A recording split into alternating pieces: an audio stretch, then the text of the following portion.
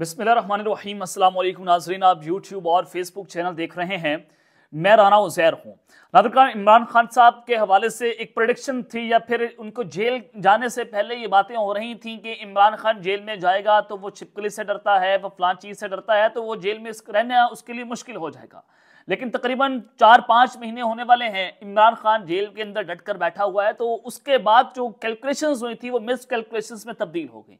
अब बिल्कुल निज़ाम ने रियासत ने फैसला कर लिया है कि इमरान खान साहब का सियासत सियासत में कोई किरदार नहीं होगा और अब वो अपना किरदार अदा नहीं कर सकेंगे, लेकिन इस तरह से आप किसी सियासतदान को माइनस नहीं कर सकते। सबसे पहली खबर पर जनाब आज हमने बात करनी है कि अब चूँकि जो सूरत हाल है, वो हाथ से निकलती चली जा रही है, गंभीर होती चली जा रही हैं, हालात बिगड़ते चले जा रहे हैं तो अब इमरान खान को इबरत का निशान बनाने का जनाब फैसला हो चुका है। आज एक अहम तरीन इजलास हुआ, ताकतवरों का इजलास हुआ, और उस इजलास में इमरान खान के हवाले से अहम तरीन फैसले हो चुके हैं। वो फैसले क्या है? वो तमाम तर डिटेल्स जनाब मैंने आपके सामने रखनी है। उस पर कौन कौन से लोग शामिल थे? क्या प्लान तरतीब दे दिए गए हैं? और ये इस इजलास के बाद जो बड़े ऐलान हुए हैं, मुकम्मल डिटेल्स आपके सामने रखनी है। इसके बाद आपको मुस्तबिल का अंदाज़ा हो जाएगा कि आइंदा आने वाले कुछ दिनों के अंदर, कुछ घंटों के अंदर क्या बड़ी डेवलपमेंट्स जो हैं वो हो सकती हैं? और फिर दूसरी जानब इंतबात या फिर एमरजेंसी की सूरत हाल ये पूरी कौम इस वक्त कन्फ्यूज़ है इस हवाले से भी जनाब आर्मी चीफ जनरल आसिम मरी साहब जो हैं, उन्होंने बड़ा खुलकर ऐलान कर दिया है, वो सामने आए हैं। उस हवाले से बड़ी इंपॉर्टेंट डिटेल्स हैं। और फिर मुल्क गिर एहत शुरू करने का ऐलान जो है, वो हुआ है। अब सूरत हाल खूनी खेल की जानी बढ़ रही है। उस हवाले से भी कुछ आम तरीन तफसरात आपके सामने रखूँगा, लेकिन अगर आपने चैनल को सब्सक्राइब नहीं किया चैनल को सब्सक्राइब कर लें बेलाइकन को दबा दें, आने वाली तमाम तरह अपडेट्स आपकी खदमत में बर वक्त पेश होती रहें। नादर काम हमाद अजहर साहब को आज गिरफ़्तार करने की कोशिशें हुई। वो वहाँ से फरार हो गए, जहाँ पर जाए वकुआ पर मौजूद थे। उनके साथियों ने वहाँ से शोर मचाया, वो जनाब फरार हुए। पुलिस जो है उनको गिरफ़्तार करने में नाकाम हो गई। तो उसके बाद पाकिस्तान तरीके इंसाफ के जो ये मरकजी रहनुमा है, हमाद अदर साहब, उन्होंने एक ट्वीट करते उन्होंने कहा कि लाडला साहब की नफरत एक सहूलत नफरत लीग सहूलत के बावजूद भी अवाम में रुल रही है। और पाकिस्तान देखे इंसाफ की उम्मीदवार की इंतबी मुहिम, रुकावटों के बावजूद जोरों शोर से जारी है।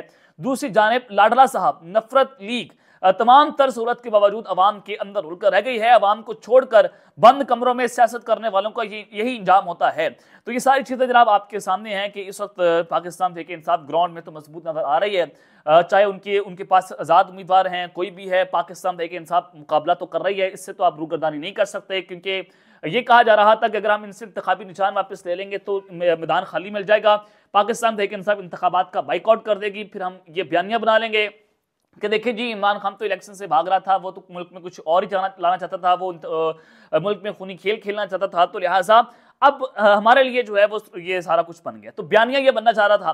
खान साहब जो है उन्होंने एक स्मार्ट मूव खेलते हुए इलेक्शंस का बाइकआउट नहीं किया बल्कि इलेक्शन में बढ़ चढ़ हिस्सा लेने का ऐलान कर दिया और फिर दूसरी जाने पाकिस्तान मुस्लिम नवाज़ के रहनमा राणा सनाउल्ला साहब जनाब, उन्होंने कहा है कि हमें एक साल और मिल जाता तो आज मुल्क जो है वो टी जी ट्वेंटी मुल्क में शामिल होता और नून लीग पंजाब में सौ फ़ीसद कौमी असम्बली की सीटें जीत जाएगी। जनाब, आपको मुल्क मिला पाँच फ़ीसद हमारा जो है वो डिफ़ॉल्ट रिस्क था, आपने मुल्क को डिफ़ॉल्ट कर दिया। एक सौ अस्सी, तकरीबन एक सौ सत्तर पर डॉलर था। आप जनाब उसको तीन सौ रुपये ले आए।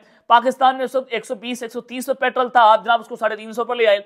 पाकिस्तान में महँगाई की शराब तकरीबन सात आठ फ़ीसद थी। आप उसको पचास फ़ीसद पर ले आए। आपने मुल्क की धजियाँ उड़ा के रख दी। करप्शन का बाज़ार आप लोगों ने गर्म किया। और आपको एक साल और मिल जाता करप्शन करने के लिए। आवाम को पागल समझते हैं साहब। इस तो पाकिस्तान की आवाम जो है वो कहाँ पर खड़ी है? आप उनका टेस्ट समझ सकते हैं। आपके पास तो आपके लीडर की तीस फ़ीसद मकबूलियत पाकिस्तान के आवाम के अंदर नहीं है। आप डरते हैं आवाम के अंदर जाने से पहले।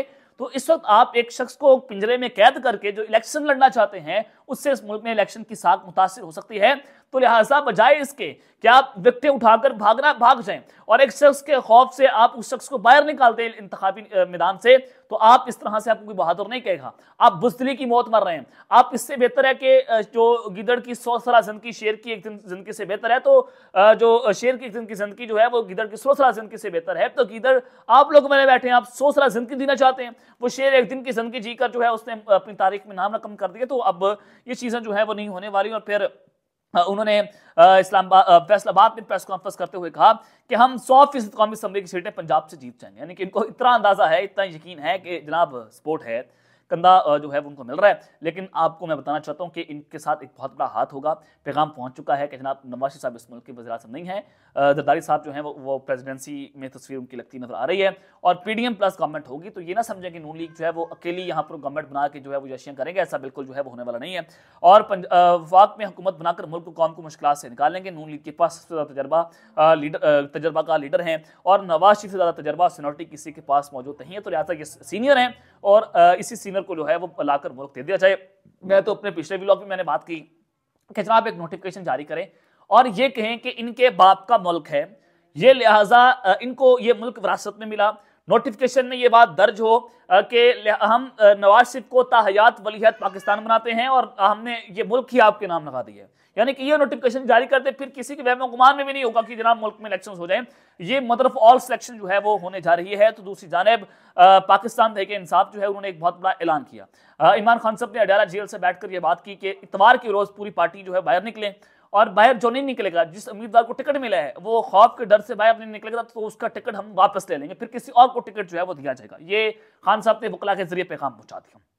तो जनाब, खबर यह है कि पाकिस्तान तहरीक इंसाफ का इतवार को मुल्क भर में बाबा तौर पर इंतबी मुहिम शुरू करने का ऐलान। पुरमन और सियासी इंतबी सरगर्मियों का हक जो है वो हमें दस्तूर देता है। इमरान खान की क्यादत में मुल्क कौम की हकीकी आज़ादी जो है वह हम दिलवाएँगे।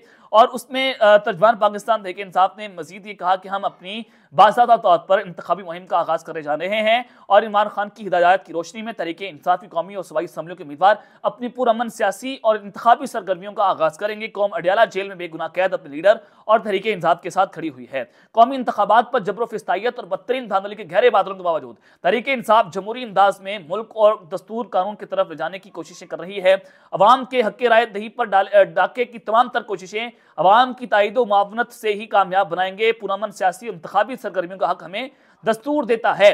और तर्जमान तरीके इंसाफ ने कहा कि खौफ और गुलामी के बुत तोड़कर निकल रहे हैं और इमरान खान की क्यादत में मुल्क और कौम को हकीकी आज़ादी जो है बदलवाएँगे अब ये तरीके इंसाफ ने अपना प्रेस रिलीज़ जो है वो जनाब जारी कर दिया है। और फिर मैंने आपको बताया कि एक, नौ मई पार्ट टू तैयार हो रहा है। क्या पाकिस्तान वैकेंसी के वर्कर्स हो सकते हैं कि उनको कोई ना कोई पैसे देकर जो है आपको कहेंगे, जनाब, आपने इश्तियालबाजी करनी है, आपने शरंगेजी करनी है, आपने आग लगानी फलान दफ्तर के बाद का एक चीज़ ये। दूसरा पी एम का जो प्लान मौजूद है, वो है खूनी खेल का, कि अपने वर्कर्स को, अपने लोगों को पीटीए के बेस में डालकर जैसे नौ मई में कुछ खवतिन पकड़ी गई और उनकी सोशल मीडिया पर तस्वीर जो है वो बाद में वायरल भी हुई हैं। तो उसी तरह से कुछ लोगों को इंजेक्ट किया जाए, वो जाकर जो है वो वहाँ पर आग फैलाएँगे। आग फैलाकर फिर से ये पीटीआई और फौज के दरमियान जो है वो दरार डालने की कोशिश करेंगे और उसका फ़ायदा उठाकर ये जनाब लाडला प्रोमैक्स बनने की कोशिश कर रहे हैं। तो ये प्लान्स जो हैं वो मौजूद हैं। नू लीग वाले जो है वो इस वक्त इस तरह से आग फैलाने की कोशिश करेंगे। तो जहाँ से पाकिस्तान देखें, इन सभी वर्कर्स को पुरम रहना चाहिए। बाहर ज़रूर निकलें, अपनी आवाज़ उठाएँ, उनका हक है, कानून को हक देता है, हर शहरी का हक है। लेकिन इस तरह की शरंगेजी से दूर रहें ताकि जो एक नौ मई हो चुका है, ये दूसरा नौ मई पाकिस्तान के अंदर जो है वो ना हो। इसमें कोई भी मुलविस है, इसकी तहकीकत होना ज़रूरी है।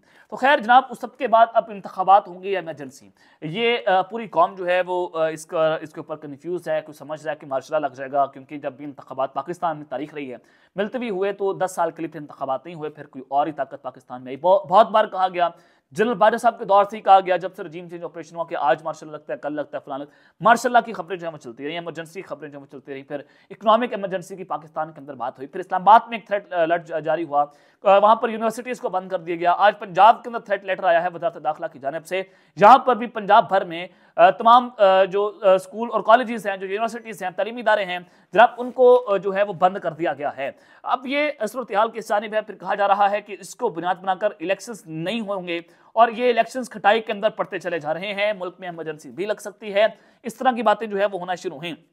तो जनाब army chief general Asim Ali साहब जो हैं फिर ये बात हो रही है, क्योंकि आज डी जी एस आई कल लाहौर में तलबा तलबात से मिले, यूनिवर्सिटी से स्टूडेंट से मिले, आज इस्लामाबाद में जनरल आसिम साहब जो हैं वो जनाब पच्चीस स्टूडेंट से उन्होंने खताब किया, फिर वहाँ पर सवाल और जवाब जो है फहरिस्त जो नशिस्त है, वो भी हुई अपने पिछले ब्लॉग में मैं उसकी मुकम्मल डिटेल्स जो है वो रख चुका हूँ, आप वो देख सकते हैं। तो अब जनाब वो अलग अलग जो है पब्लिक इंट्रैक्शन कर रहे हैं। क्या वो इस वजह से हो रही हैं? क्योंकि लोग ये सवाल कर रहे हैं क्या वजह से जो है पब्लिक इंट्रैक्शन हो रही हैं कि वो इंतबात को मिलती कराना चाहते हैं, वो एक नैरेटिव बिल्ड करने की कोशिश कर रहे हैं, लेकिन ऐसा नहीं है। Army chief general Asim Ali साहब जो है, उन्होंने बड़ा दो टोक आज की मीटिंग में बात कर दी है कि आठ फरवरी से इलेक्शन आगे नहीं जाएँगे। किसी सूरत जो है आठ फरवरी से इलेक्शन नहीं आगे जाएँगे और हर सूरत मुल्क में इलेक्शन होकर रहेंगे। तो ये एक अहम तरीन शख्सियत की जानब से आर्मी चीफ जनरल आसिम साहब की जानब से, क्योंकि इनके गिरती पूरे फैसले घूम रहे थे उनकी जानब देख रही थी तो उनकी जानब से जो है वो बड़ा कैटेगोरिकली जो है यहाँ पर ऐलान हो चुका है कि अब कोई मार्शल्ला या कोई एमरजेंसी या कोई समझ रहा है कि निगरान का जो वक्त है वो आगे बढ़ाया जाएगा निगरान हुकूमतों का। वह बिल्कुल नहीं है कटा इसमें लग चुका है। तो लिहाजा हर सूरत जो है वो इलेक्शन होंगे। अब आज तो उसी जानब के इमरान खान साहब को जनाब निशान इबरत बनाना है। इस हवाले से कुछ ताकतवरों का अहम तरीन इजलास हुआ है। उस इजलास के अंदर ये फैसला हुआ है। और ये फैसला इसमें कौन कौन जो है वो शामिल था, ये बड़ा इंपॉर्टेंट है।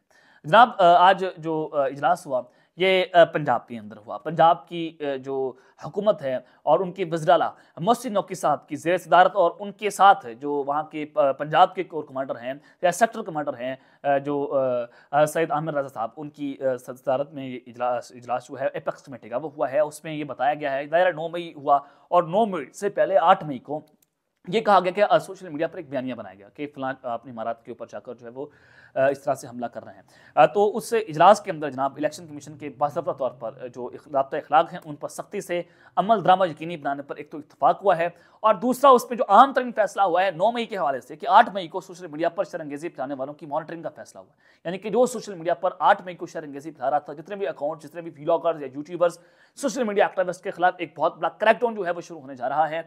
अब उनको मॉनिटर करने का फैसला हुआ है और पंजाब एपेक्स कमेटी का इजलास वजराला और कोर कमांडर ने इसमें शिरकत की और उन्होंने यहाँ पर सरबराही की और ये चीज़ें जनाब आपके सामने है। इसमें IG Punjab doctor Usman Anwar जो है वो भी इस इजलास के अंदर जो है वो शरीक थे और फिर मैंने आपको बताया कि जो डी जी आई से इंट्रैक्शन हुई, उसमें भी तलबा, तलबात स्टूडेंट से कुछ सवाल पूछे। नोमी के हवाले से जनाब रियासत ने इस पर कोई खास खातर खा कोई रिस्पॉन्स नहीं दिया, जिस तरह से रियासत बगावत को कुचल के रख देती है तो रियासत ने इस बार जो है वो नौ मई को खुला हाथ क्यों दिया ताकि कोई और भी फिर इस तरह का जो है वो रिएक्शन आपको दे सकता है? तो ये सवाल जो है आज स्टूडेंट्स की जानब से भी किए गए, कल भी किए गए।